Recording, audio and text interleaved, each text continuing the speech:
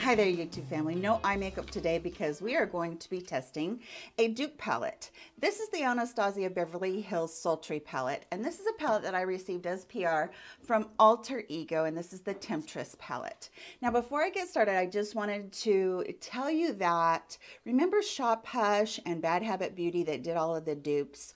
Well Alter Ego is a brand that is kind of picking up where they left off. They're out of business now. Shop Hush is no longer an app, no longer a website, and Bad Habit Beauty is no longer a cosmetics company. So Alter Ego has kind of picked up where they left off. I've heard that they um, they hired a lot of the same people that they had at Bad Habit Beauty and that they are helping to design these dupe palettes. So I was asked to review this against the Sultry and that's what we're going to do today.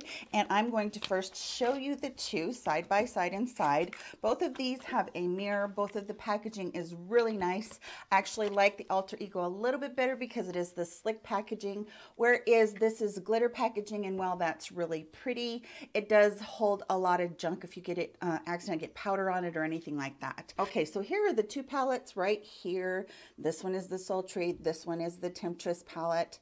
And just pretty close to the same palettes. They really did a good job on duping these and what I'm going to do today is I'm only going to be wearing three colors but I'm going to be wearing the Anastasia Beverly Hills on this side and then the Temptress on this side and we're going to be doing three colors. So first one I'm going to start out with because I do like to start out with a little bit brighter of a color is I'm going to start out with the peach color that is in both of these palettes. So we're going to start with the Temptress palette. This will go on the right. My right, your left, I suppose and what I'm doing is I'm just going to be putting this into the crease and above it a little bit like a transition color. I'm not going to make this uh, look very complicated because it's really just more about showing you this palette. Um, if I was going to teach about it, I would definitely be doing that. You guys know I get a little windy about that. But um, we're basically going to be just kind of trying out the palette today. So beautiful color on the Temptress palette so far on that uh, peachy orange color. And then we're going to go in with the Sultry. I will say in trying both of these palettes that the Sultry palette has quite a bit more uh, fallout and is a bit softer formula. Some people are okay with that. Some people don't like it being so, uh, you know, so Oh, it's almost like a loose pigment, and then you stick your brush in there, and it just kind of, you know, picks up a ton. That's kind of what Anastasia Beverly Hills formula does. And so just so you guys know that beforehand. So. And then the next thing I'm going to do is I'm going to be taking the silver color in both palettes. I'm using my finger for that. I always use my finger when I'm putting things on my lid and I am just patting that down. Oh, I don't think I told you guys that I did put a primer on both sides. I used the NYX, I used the NYX Proof It. It just is one that I really like and it just seems to work for me really well. So I'm building up that color a little bit and I'm putting it on the inner two thirds of my lid. And then this one is out of the Sultry palette and I'm going to put my finger into that one and just build that up on the inner two thirds of my lid as well extremely metallic on both of those for that color. Very soft very easy to put on and they were very easy to build up and as you guys can see the colors are looking almost identical. So because I want the look to be a little bit more on the cool side I'm going to go into this gray right here and this one again is the Temptress palette and that's going on the right side and I'm just going to use this to kind of darken up the whole look and kind of make it a bit more muted with the with the cool color. Really soft, really pretty, really easy to blend. I'm really enjoying this palette.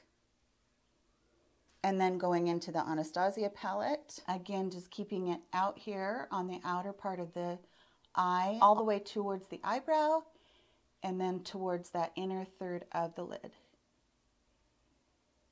and pulling it over just a little bit. I'm Gonna go back into that same color and I'm gonna darken it up just a little bit. And really work on pulling the color up towards my eyebrow a little bit. Back into the Anastasia palette, the Sultry palette.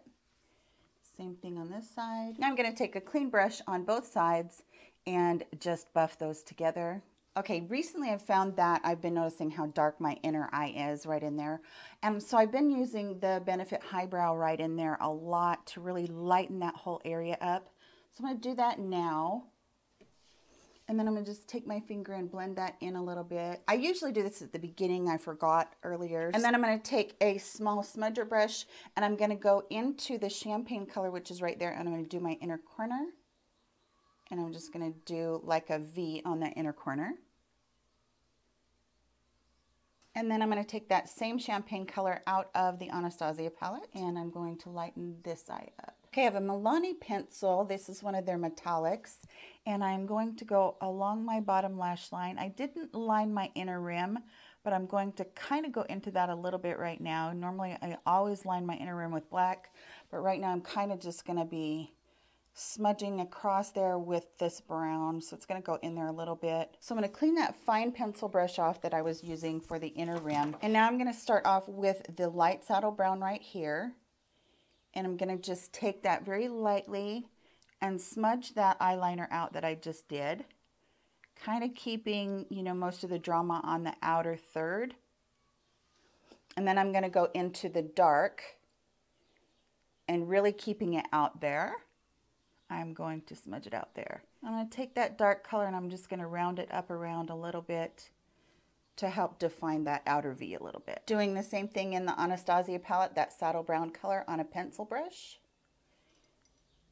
And smudging out that eyeliner. And then going into the deepest brown and staying out here on the outer edge and bringing it up a slight bit into the crease. One more thing that I thought might be really pretty is I really like this color that is like it's almost like a taupe. It's got gray, but it's got a little bit of brown in it and it's shimmery. And so I might thought I might take that on a flat shader brush and then just smudge it right underneath that eyeliner I did on the bottom. And since I don't have another one of those flat uh, brushes, I'm cleaning that off on a towel I have in my lap. And then I'm going to go into the same color on the Anastasia palette, which is right here. I'm so bad about telling you guys colors because Half the time I can't read when it's up that close to tell you the honest truth. I have to get my glasses. Okay, from LA Splash Cosmetics, I am going to take this and I'm going to do a really thin line close to my uh, lash line and I'm going to just really thinly line that with black. I love this stuff, you guys. This is totally waterproof. I've worn this for 24 hours when I didn't have eye makeup remover and I'm not willing to, you know, scrub at my eyes and it didn't come off. It was so good. So I really am enjoying this very much. It's so good during the summertime. Really, really waterproof.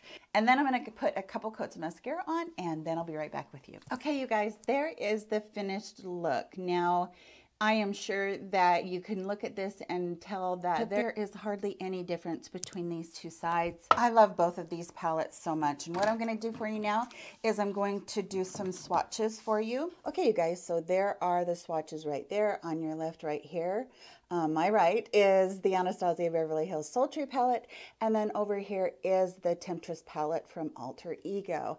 And I'll pull back just a little bit so you can see all of them. But you guys, they are so very close in their colors that there is no way to tell a difference. Formula-wise, I do want you to know that the Anastasia Beverly Hills has that kick up to it. And I actually did find that the Alter Ego Temptress palette had a little bit softer of a formula than the Anastasia. I love Anastasia Beverly Hills. I will be forever a fan of theirs. But in this case, I would say that if you're wanting the sultry palette, you've thought about pulling the trigger on it forever, that I would say absolutely go for the Temptress palette if you can't afford it. It is such a good dupe. And, you know, I think they're going to pick up exactly where Bad Habit left off. So we're going to see a lot more dupes from this company. I have been told by one of their PR representatives is that they have two more palettes coming out. One is for the Natasha Denona. I'm not sure which one that is. And then the other one is for the Huda Beauty New Nudes, which, which I love that palette. I picked it as my number one last year. So that was going to be really hard to dupe for me because I think it's an outstanding, fantastic palette. And I also wanted to tell you about the price point of each of these too. As always, I will throw it up on the screen, but the Anastasia Beverly Hills is 45 And I believe that I got this Temptress one for 16 I actually got this one from PR. No, this is not sponsored by them at all. They just sent me this to review. Um, and I actually went out and I bought an extra one for my daughter and I gave one to my daughter. So I really do love that palette. I think it's a wonderful dupe. They did a great job. That's everything for today's video, you guys. Please give this video a thumbs up if you do enjoy seeing me do these side-by-side -side comparisons. Zabrena was the one that helped me to get out of my safety net here as I've been recuperating. And she is the one that helped me to decide that I'm going to do a side-by-side -side too because I watched a bunch of hers and they're so good. I hope that you all are doing great. Thank you all so much for your support and the care that you guys show me. It's just so touching to me and I appreciate every bit of it. Thank you for everything. I'll catch you all in my very next video. Bye-bye. Love ya.